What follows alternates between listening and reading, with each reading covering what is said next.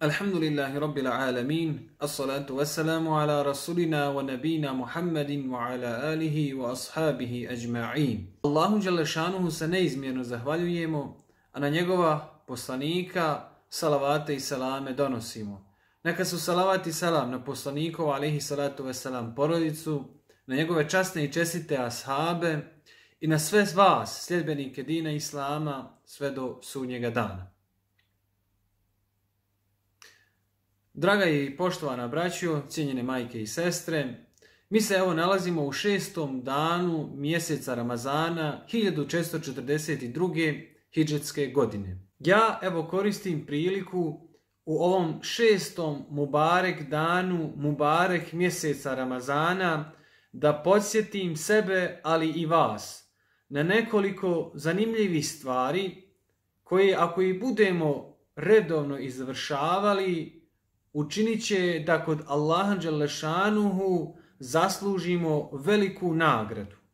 Neka nam upravo ovi Mubarek dani, Mubarek mjeseca Ramazana, budu početak činjenja tih stvari koje će nas, ako Bog da, približiti Allahu Đalešanuhu, približiti njegovom zadovoljstvu, a koji će učiniti da se u ovom dunjalučkom životu osjećamo ljepše, bolje i zadovoljnije šest savjeta za šesti dan Mubarek mjeseca Ramazana. Iako se nalazimo u jednoj specifičnoj situaciji, opet vrata naših džamija su otvorene za vjernike. Prva stvar koja će nas približiti Allahu Đalešanuhu, koja će učiniti da Allah Đalešanuhu sa nama bude zadovoljan, jeste da ponavljamo riječi ezana dok mu jezin uči ezan. Prenosi se od Omera bin Hattaba radijallahu anh da je Muhammed alaihi salatu wasalam jednom prilikom kazao kada mu jezin kaže Allahu akbar, Allahu akbar i neko od vas iskreno iz srca kaže, to jest ponovi Allahu akbar, Allahu akbar, a zatim za mu jezinom ponovi riječi Ešhedu en la ilaha illa Allah i Ešhedu enne Muhammedar Rasulullah. A kad mu jezin kaže Hayya ala salah ili Hayya ala falah kaže La hawla wa la quvvata illa billah.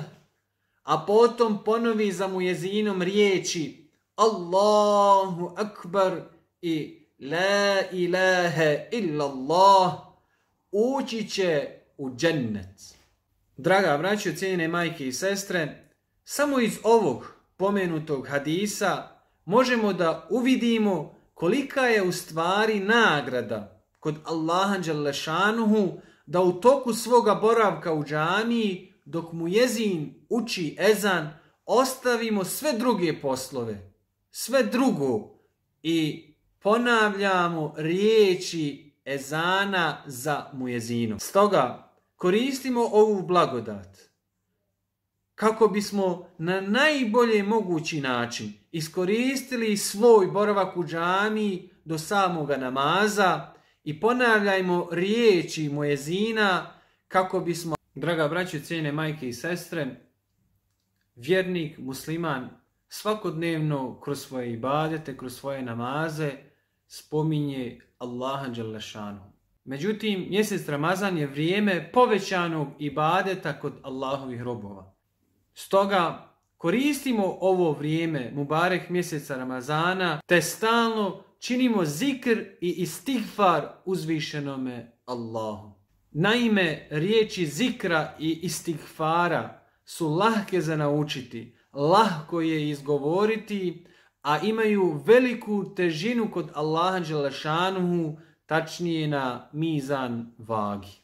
Riječi zikra i stigfara su Subhanallah, Alhamdulillah, Allahu Akbar, kao i Estagfirullah. Jednom prilikom Muhammed alaihi salatu wasalam je svojim ashabima kazao Hoćete li da vam kažem o nečemu što je bolje od svih dijela i čini najbolji vid pobožnosti u očima vašeg gospodara, što će povećati vaš stepen na ahiretu i što zavređuje više sevapa nego trošenja zlata i srebra na Allahovom putu ili ulaganja truda na Allahovom putu. Ashabi zamoliše poslanika Muhammeda alaihi salatu wasalam da im kaže, pa on reče. To je Allahov zikr. Što se pak istigfara tiče, istigfar je traženja oprosta od Allaha Đelešanuhu za grijehe koje smo počinili. Izgovaranjem riječi Estagfirullahi wa atubu ilaihi tražimo utočište kod Allaha Đelešanuhu i za onu najmanju grešku, za onaj najmanji grijeh koji smo možda u proteklom periodu učinili. Čovječe, opraštat ću ti grijehe, ne obazirujući se na njih, sve dok me budeš zvao i molio. Čovječe, kad bi imao grijeha koliko do neba, pa me zamolio za oprost, oprostio bih ti.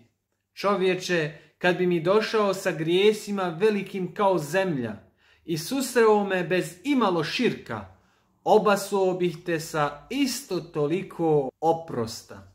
Samo iz ova dva pomenuta hadisa vidimo koliko je u stvari važno da jedan vjernik svakodnevno uči zikr Allahu Đelešanuhu i da od njega kroz riječi istigfara traži oprost. Draga braćo, cijenjene majke i sestre, mi se nalazimo u Mubarek mjesecu Ramazanu, kada se Allahovi robovi, vjernici muslimani, sa jednim većim žarom, sa jednom većom željom približavaju Allahu Đalešanuhu kroz obavezne, ali isto tako i kroz dobrovoljne ibadete. Mjesec Ramazan je vrijeme kada vjernici usklađuju svoje poslove kako bi što više vremena provodili u džami. Ovo Mubarek vrijeme, Mubarek mjeseca Ramazana je u stvari vrijeme povećanog ibadeta kod vjernika. Pohvalno je da što više obveznih namaza klanjamo u našim džamijama.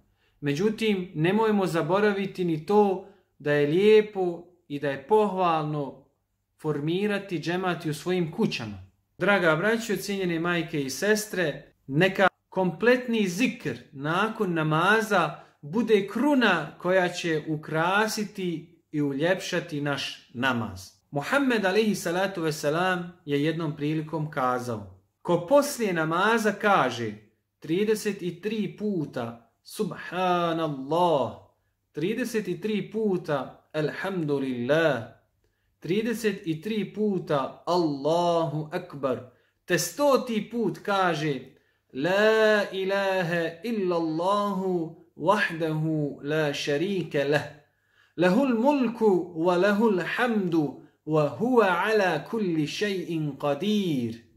Biće mu oprošteni grijesi, makar ih bilo koliko morske pjene. Također, rekao je poslanik Muhammed alaihi salatu wassalam, ko poslije farza prouči ajtul kursiju, bit će pod Allahovom zaštitom sve do sljedećeg namaza. A u drugoj predaji se kaže, ko prouči poslije farza, misleći na namaz, ajetul kursiju, smrt mu je jedina prepreka za ulazak u džennet. Za mjesec Ramazan veže se jedan posebni namaz, a koji je u našem narodu poznat kao teravih namaz. Lijepo i pohvalno je da klanjamo teravih namaz kako u džamiji, u džematu ili u svojim kućama formirajući džemac, ali isto tako ne smijemo ili ne bismo trebali zaboraviti, draga braćo, majke i sestre, pritvrđene sunnete koje je naš poslanik Muhammed wasalam u toku dana klanjao. Rekao je poslanik Muhammed salam, ko ustraje u klanjanju 12 rekiata dobrovoljnog namaza. Četiri prije podne namaza, misleći na fars, i dva poslije njega.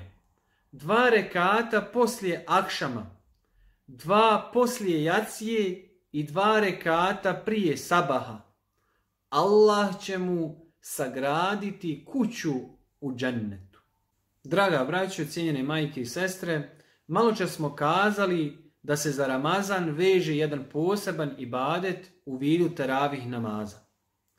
Međutim, trebamo znati, odnosno trebamo se podsjetiti na to da mjesec Ramazan se ne sadrži samo od posta i teravih namaza. Naš mjesec Ramazan treba da bude satkan od mnogobrojnih ibadeta preko kojih ili kroz koje ćemo se oko Bog da približiti Allahu Đelešanu. Jedan od tih ibadeta koje bismo trebali činiti što više u toku mjeseca Ramazana jeste noćni namaz u zadnjoj trećini noći. Muhammed alaihi salatu veselam je kazao Znaj da je vjernikova čast njegovo klanjanje noću, a njegov je ponos nezavisnost od ljudi. Islamski učenjak Hasan el Basri je jednom prilikom kazao Nisam našao nikakav ibadet teži od namaza u noćnoj tmini. Zatim je bio upitan zašto oni koji klanjaju noćni namaz imaju najljepša lica. Zato što su se oni osamili sa svojim gospodarom, pa ih je ogrnuo jednim dijelom svoga nura, odgovorio je Hasan el Basri. Draga braćo, cijenjene majke i sestre, malo čas smo kazali da mu barek mjesec Ramazan odlikuje post kao i teravih namaz. Međutim, shodno hadisma Božjega poslanika, Mjesec Ramazan odlikuje još jedno dobro djelo koje je preporuče raditi kako bismo se približili Allahu Đalešanuhu i kako bismo zaslužili njegovu milost. To djelo se zove udjeljivanje sadaki. Ebu Hureyre radijallahu an prenosi da je Muhammed alaihi salatu wasalam jedne prilike rekao Svakog dana je čovjek dužan podijeliti sadaku za svaki dijelić svoga tijela da pravedno presudiš između dvojice je sadaka. Pomoći čovjeku da se uspe na konja ili pomoći mu da na njega natovori teret je sadaka. Lijepa riječ je sadaka. Svaki korak prema džamiji ti je sadaka i uklanjanje sa puta onoga što smeta je sadaka. Uzvišeni Allah Đalešanu u Kur'ani Kerimu u suri Ali Imran kaže U ime Allaha milostivog samilosnog. Lijepo je kad javno dijelite sadaku, ali je za vas bolje ako je dajete siromasima kada niko ne vidi, a on će prijeći preko nekih vaših loših postupaka, a Allah dobro zna sve ono što radite. Istino je rekao uzvišeni Allah. Draga braćo, cijenjene majke i sestre, bilo je ovo šest stvari, šest savjeta za šesti dan Mubarek mjeseca Ramazana 1442. hijđetske godine. Ja molim Allah Đelešanuhu da iskoristimo ovih šest savjeta kako bismo se približili Allahu Đelešanuhu i kako bismo, ako Bog da, postigli njegovo zadovoljstvo. Ako Allah Đelešanuhu bude zadovoljan s nama, Jedina nagrada za Allahu zadovoljstvo jeste njegov lijepi i obećani džennet za vjernike. Molim Allaha Đalešanuhu da primi naše ibadete, posebno naš post, kojeg samo radi njega uzvišenog i njegove naredbe primjenjujemo. Na kraju ja molim Allaha Đalešanuhu da vama i vašim porodicama prvenstveno podari zdravlja, kako bismo ako Bog da u krugu svojih porodica ispostili još jedan Mubarek mjesec Ramazan u našim ovodunjalučkim životima. Ramazan šerif Mubarek Olsun, Assalamu alaikum wa rahmetullahi wa barakatuhu.